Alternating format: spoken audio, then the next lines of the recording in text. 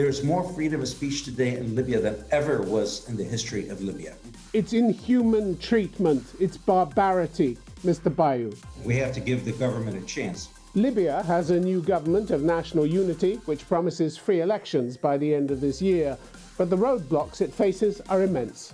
Armed militia groups still hold power throughout the country. They still kill and kidnap with impunity. My guest this week is Tamim Baiou, Libya's ambassador to the UN in Geneva, from where he joins me.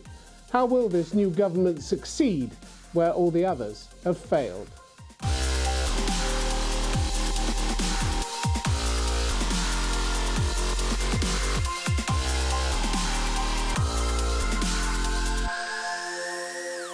Tamim Baiou, welcome to Conflict Zone. Thank you. Thank you for your invite. Three days after your new government of national unity was sworn in, there was a shocking reminder of how little unity there is in your country. Up to 15 bodies were found handcuffed and dumped at a cement factory in the eastern city of Benghazi. While life remains so cheap and murderers enjoy almost total impunity in your country, there's nothing much to celebrate with this new government, is there? Well, that's not necessarily accurate because we don't, first of all, we don't know when this uh, crime took place. Secondly, uh, as you know, during transition periods, things tend to be uh, uh take a little bit of time to uh, to uh, to come to a more stable environment. Well, you're not suggesting to me that there aren't daily killings and discoveries of mass graves. If these killings go on, this government will fail like all the others, won't it? That's the point. Absolutely. And therefore, it's extremely important for the international community, the United Nations, and all the mechanisms of the international organizations to come together and help the current government in every way possible. As a matter of fact, here in Geneva, if you uh, checked into this, you would know that we have passed a, a resolution at the 43rd session of the Human Rights Council calling for a mechanism of accountability, calling for the ability to hold this impunity of crimes committed and human rights violations committed in Libya. So we, we are seeking the help of the international community, the United Nations, and all the various organizations to step in and help us be able to put impunity uh, at a stop. Well, you haven't um, shown much interest in doing that in the past with previous governments, have you? Um, this was just the latest of many mass killings, which I was talking about, by the dozens of militia groups that fight daily for control of your country. And unless your government, never mind the international community, but unless your government comes to grips with these groups, the new government is going to be just as powerless as all the others, isn't it? Well, again, we have to give the government a chance. So let's keep in mind that the government has not even been in, in office for 30 days uh, just yet, and there's a lot of work uh, ahead. There's a tall order of tasks that need to be taken care of, including security and stability, but also uh, keeping in mind that the role of the international community is extremely important. The partnership that Libya has embarked on with the international community through the United Nations is extremely important for the security and stability of Libya and the success of any government. So it is important for the international community to do its part. Let's not forget that we just came out of a proxy war. Yes, I mean, you can turn it over to the international community as much as you like, but it's got to be done on the ground. And uh, this is a government, um, and it's a weak government, and it's going to be uh, very difficult for it to gain control of those armed groups that have been allowed to capture so much of your state over previous years, hasn't it? And it doesn't look from what Abdul Hamid Dbeibah has said, your interim prime minister, that he has very much of a strong commitment to either justice or, or accountability, does it? Well, you seem to be judging the government before it even has a chance to be able to do anything. Keep it well, I'm judging mind. it by what it's said or what it hasn't said so far. Let's let's judge by what has taken place in the few weeks that it has been in office. Uh, let's look at the efforts that have already been done to reunify the institutions of the country. Let's look at the efforts that have been done into uh, stabilizing the security situation in the country through the Joint Military Commission, which let's keep in mind again that they ended a, a war in Libya. You know, uh, just a few months ago, we would not even be talking uh, as. Well, it's as, a ceasefire. It's a ceasefire, and it's a shaky ceasefire. So it's a bit premature to talk about the end of the war, isn't it? it's it's not a uh, a, a solid uh, ceasefire. I agree, but uh, it is nonetheless a, a, ceasefire, a stop of hostilities, and there is a chance for peace today. So let's embark on supporting this chance for peace. Um, we've seen that um, there are there are two major advantages in the Dbeibah government for the armed militia groups. Firstly, he's weak, and secondly, for the time being, he has the keys to the safe. Um, so it's in their interest to do business with him. But for how long? Um, they want a chance to get their hands on money, and I see that he's already promised local government a flurry of construction projects in various regions. Um, as long as he continues buying off these groups, they'll go along with him. If he starts getting tough with them, they'll get rid of him, won't they? Well, again, you know, you can you can pose these questions to the prime minister and, and, and, know what his plans are. But let's keep in mind that when we have a proxy war, countries that were involved supported some of these uh, armed groups in, in, in, Libya, which caused much of the of the destruction and, and disarray that we have been in. Number two, keeping in mind that we have been calling for a DDR program, an SSR program. Keeping in mind DDR, that DDR being what? DDR, DDR basically basically taking these young men out of these uh, armed group militias uh, environments and and, uh, and, and turning them into a more constructive and positive elements of society. This is going to take a long time, isn't it? This isn't a short term. This isn't a short term measure. This is only a government that runs for eight months. Let's let's not forget that it's an interim government, isn't it? Absolutely. So let's not hold the the government so accountable for resolving everything with a magic wand.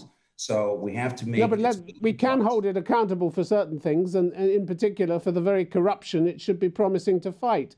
Because even before the vote, there were documented attempts by Dbeibah's supporters to bribe delegates to support him. That's pretty outrageous behavior, isn't it?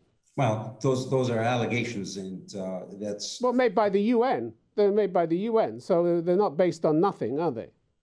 Well, the UN is the same is the same entity that supported the uh, the dialogue and and uh, supported the coming of the uh, government into office. So, but they didn't support the uh, Dbeibah's supporters who were trying to uh, bribe um, delegates to vote for him, did they? No, they didn't support that. That, that well, again, these are allegations that has not been proven of any sort, and uh, nothing has uh, been uh, stated by the UN to that effect. Well, a UN inquiry said the PM's supporters offered bribes as high as $200,000 to induce people to vote for him. The UN report was quite specific. It said at least three such bribes were offered, although all of them were apparently turned down. Well, again, let's ask the UN about that and why they supported the outcomes of the of the dialogue then in having the Dbeibah government come into into office. Let's keep in mind, again, it's a new government. It's, it's a very well representative of the entire Libya. It managed to bring the entire country together. This is the first time that we have one government, one legitimate, recognized internationally and nationally, and given the trust by the HOR, which has not been able to do so for previous governments. The House so, of Representatives. That is correct, the House of Representatives. So we, we are seeing some positive steps in the right direction the picture is not rosy. We have a lot of work. We have a lot of things that we need to address. It is not something that's going to happen overnight, but we need to build on the positive blocks that we have measured and been able to accomplish so far. You say that, but one of the worst aspects of these bribery allegations is that uh, Dbeibah's interim office described the claims as fake news when they clearly weren't fake at all. And that doesn't say much for the levels of honesty or transparency that uh, he says he's uh, going to adhere to, does it? His, his response to these allegations suggests that his government is going to be as dishonest as all the others have been, doesn't it? Well, I'll be happy to connect you with uh, his spokesman and he, he can address uh, these concerns for you. Mr. Dbeibah's reputation is pretty checkered, isn't it? He, he prospered mightily during the dictatorship of Muammar Gaddafi. He ended up running the Libyan Investment and Development Holding Company, which itself was rumored to have been involved in corruption and money laundering. Why should people trust him now, especially at this critical time? Let's let's let's talk about Libya here because you're you're you're focusing on on on allegations again of one particular individual who can address these allegations himself Well, allegations of the company, the company in particular that he that he ran. I'm here in my capacity as the Libyan representative to the United Nations in Geneva.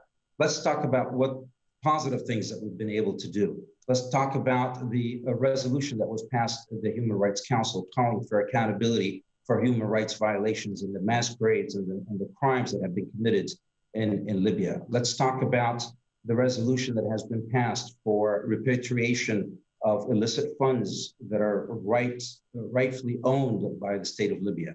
Let's talk about the uh, initiative that was uh, supported, peace initiative that was supported here in Geneva, which led to the signing of the of the peace agreement and the ceasefire in, in Libya. There are a lot of positive things that we need to focus on and we need to build on.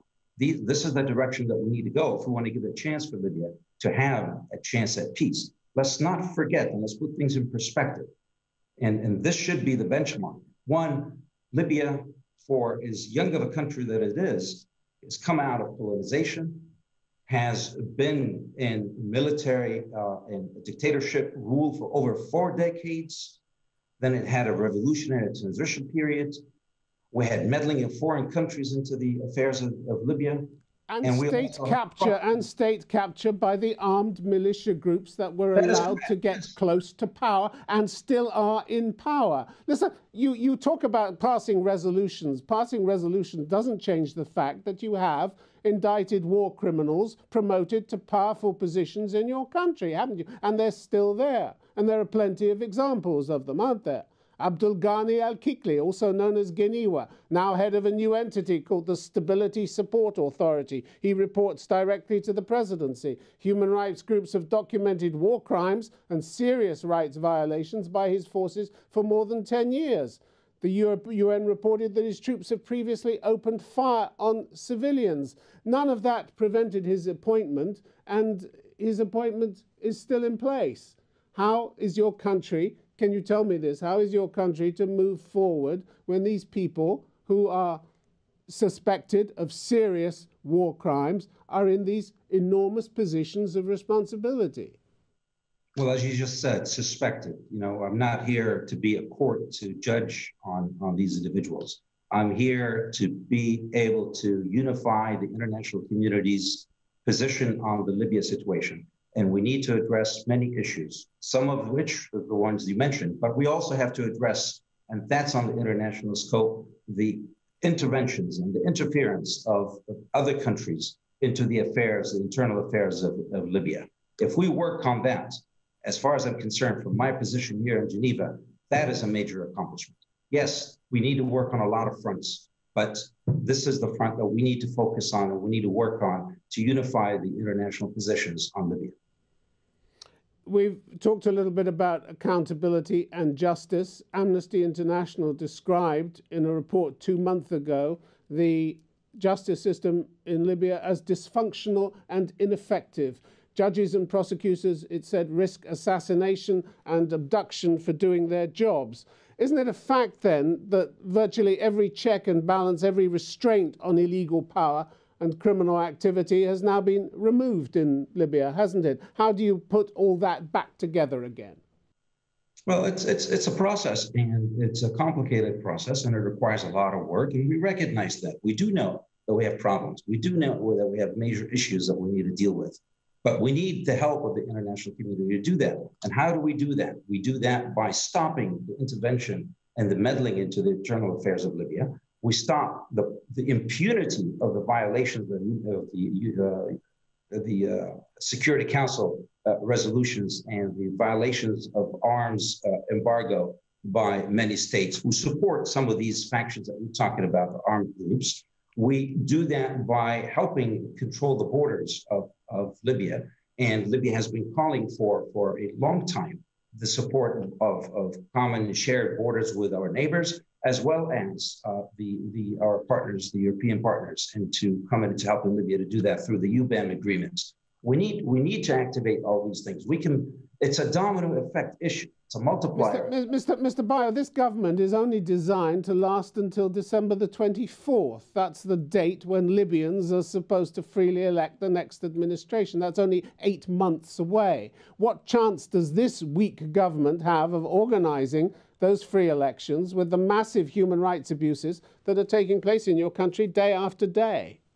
Well, that, that is correct. And they, and they recognize that and they recognize what their agenda is. But it's, it's, it's, it's a process. It's a building process. It's a building blocks process. We have to start somewhere. We but it's say, either a realistic process or it isn't. You know, you have the UN Special Envoy for Libya, Ján Kubiš, telling the Security Council last month that his office continues to document an horrific catalogue of brutality in your country killings, enforced disappearances, sexual violence, including rape, attacks against activists and human rights defenders, and hate crimes. The international responsibility, international community isn't responsible for that. The meddling that you've talked about isn't responsible for that. That's coming from people, your own people inside your own country, isn't it? You think that sets the right conditions for a free and fair election in Libya in just under eight months' time?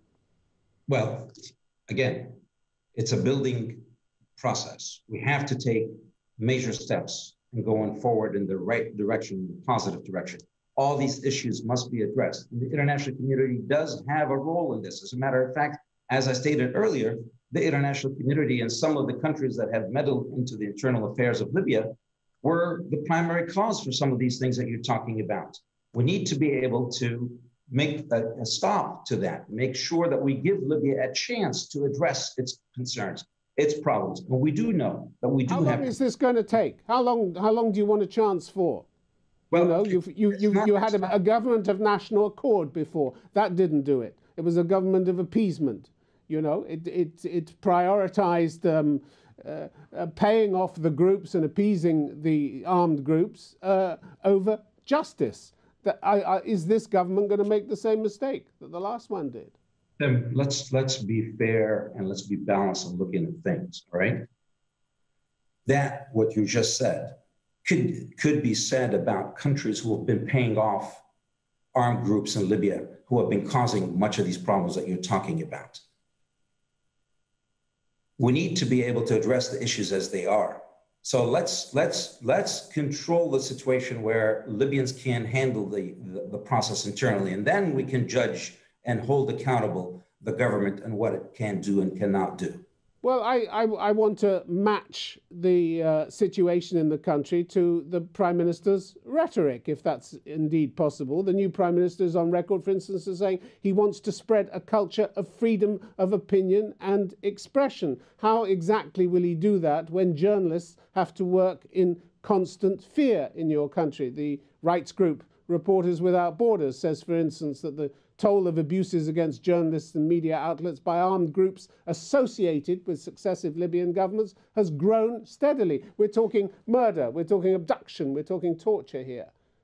You, you, you, keep focusing on the crimes, and we recognize those crimes, and we do understand that they're, and we're there to fight them. Pretty big ones, and they're pretty important ones, aren't they? Well, of course, they're important. That's why Libya is going through a transition. That's why we need to get out of this violent, violent phase and be able to get into the restoration of a country institutions, be able to set into a civilian uh, democratic state, and be able to give the human rights to the Libyan people. Keeping in mind, again, if the, the benchmark that we established early on in the conversation, that this is a, a new culture that we have to go into that we are not so well experienced about. We do need the help to be able to accomplish that. And the, the will is there, the, the, the, uh, the goals and the objectives have been set since fe February 17, 2011, in wanting to, to, to set up a democratic state that is based on freedoms, that's based on justice, that's based on the ability to prosper and do well. And the current but prime those, minister. Those are, those are great words, but how do you get there? How do you get there when you have these enormous roadblocks in your path? How do you get there? You know, well, you, it, without a free press, you don't have a basis for democracy. You don't have a free press. There's no law in Libya guaranteeing the public's right of access to information, is there? What, what are the chances there'll ever be one in Libya? Well, you know what, Tim? There are more TV stations in Libya today than there ever were before. You know what, Tim? The people are talking about wanting to set up freedom of speech in Libya. Not only that, there is more freedom of speech today in Libya than ever was in the history of Libya. Really? It's chaotic. Really? It's not really? organized. We do need Reporters, to pass Reporters Without Borders says Libya has reached its lowest ever position in the group's World Press Index. One, 164 out of 180 countries. That's worse than during the Gaddafi era. That's a huge step backwards, isn't it?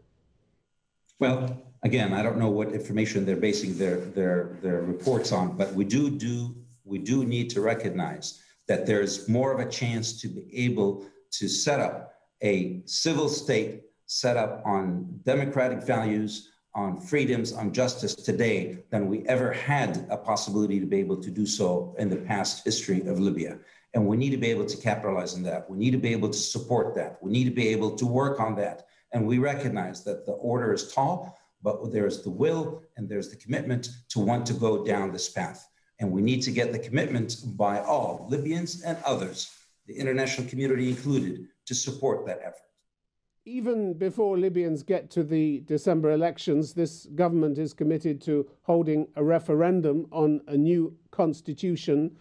Um, again, how you do inform the public without a free press is, is up to you. But what if you miss the deadlines? What if you miss the deadline for this new constitution and the new elections? It's pretty tight, isn't it?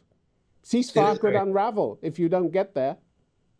It, it is it is very tight, and uh, you know the possibility of missing the deadline is, is possible. As a matter of fact, the United Nations has has missed many deadlines in the past in the process of coming to this point. So we do need to work. The commitment again is there, the will is there, and the efforts are underway. Keeping in mind the the the process uh, has already been uh, uh, established with some other deadlines. There's a July 1st deadline to uh, agreement on a constitutional basis, to passing a, a legislation to uh, ensure the elections uh, law, and uh, the preparations for the High Electoral Commission to do its work to allow for the 24th of, of uh, December elections. But there is also another very important deadline. There's a deadline that we have already passed, the international community has passed, the United Nations has passed the exit of all foreign fighters and mercenaries out of Libya. That has yet to happen. That is extremely important because stability and security, again, to your point, is extremely important to be able to do these elections in a stable and secure environment. Mr. Baiou, we've heard a lot of grand rhetoric um, from the Prime Minister about Libyans being one unit, one heart that heart hasn't been much in evidence these last few years, has it? Look at the shocking way migrants have been treated in your country. In the last two months, hundreds of them have been intercepted trying to flee Libya in small boats and head for Europe. Do you know why they're so desperate to leave Libya? And do you know what happens to them when they're brought back to Libya, these migrants, many of them? Do you know that? Yes, I do, as a matter of fact, Tim, but let me correct you. What you're saying is not accurate. Uh, number one, these migrants, when they left their towns and their villages from the various countries in Africa, they set their mind on going to the northern shores of the Mediterranean. They were not coming to Libya. Libya is a transient country. Everybody knows that. The same reports that you refer to, the UN reports, everybody knows that. But also, and yet, in, and yet in Libya, they continue to be systematically subject to arbitrary detention and torture in both official and unofficial places of detention. Are you proud of that? No, I'm not proud. We do have problems, and the Libyan government has recognized and continues to recognize the violations and the problems that we have with migrants. The Libyan government has been associated with these violations. It's been directly associated with these violations. Uh, Tim, let me let me just finish this point. It's extremely important. What you're referring to constitutes uh, crimes or alleged crimes on a population of about 4,000 migrants in detention centers or what's called gathering and, uh, and departure facilities. It's inhuman. it's inhuman treatment. It's barbarity, Mr. Baiou. It's inhuman treatment. We're talking about sexual violence, abduction for ransom, extortion, forced labor, unlawful killings. It doesn't matter whether it's 4,000 or 4 million why why are you what does it say about your people that you're treating migrants in this way That is not correct, uh, uh, Tim. Your, your information is not fully accurate. You're reporting half of the information uh, that is being out there. Let me also repeat to you, as I was stating, the, the alleged crimes that you're talking about, which the Libyan government has been dealing with and continues to work with and deal with with the various UN organizations, is concerning some facilities where there's no more than four or 5,000 at the most um, of migrants that happen to be in these facilities because they're supposed to, and the UN organizations also know that these are uh, uh, migrants that are supposed to be lifted to another uh, uh, country. But the rest of the, of the, of the migrants that we have, and we have about a million in Libya, live freely and safely among all Libyans throughout Libya. All right. Tamim Baiou, we've run out of time. Thank you. Right. Thank you for making that point, and thank you very much for your time on Conflict Thank Zone. you. Thank you.